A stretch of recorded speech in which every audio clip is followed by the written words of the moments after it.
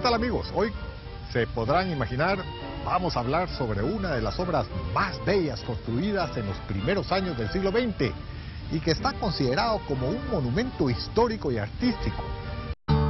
La Municipalidad de Guatemala presenta Valoremos nuestra ciudad. Alrededor de 1920, durante el gobierno de Manuel Estrada Cabrera, el arquitecto Guido Albani presenta un proyecto de un palacio majestuoso para el gobierno de Guatemala.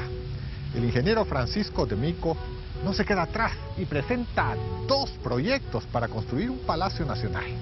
Estrada Cabrera es derrocado y los proyectos quedan en el olvido. Diez años después, el presidente Jorge Ubico decide construir un palacio donde estuvieran todas las oficinas del gobierno, pero a la vez que pudiera mostrar el arte y la cultura de nuestra Guatemala. El arquitecto guatemalteco Rafael Pérez de León presenta un proyecto que se convierte en el diseño que todos conocemos.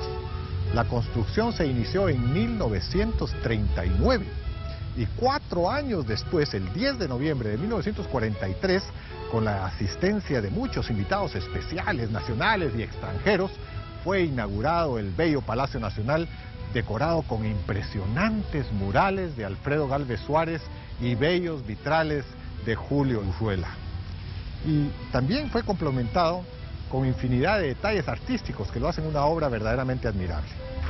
El Palacio Nacional ha sido testigo de grandes sucesos y uno de ellos fue precisamente la firma de la paz, que se hizo el 29 de diciembre de 1996. Visítelo.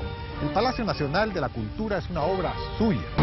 Esta fue una presentación de la Municipalidad de Guatemala, conmemorando los 230 años de la nueva ciudad de Guatemala.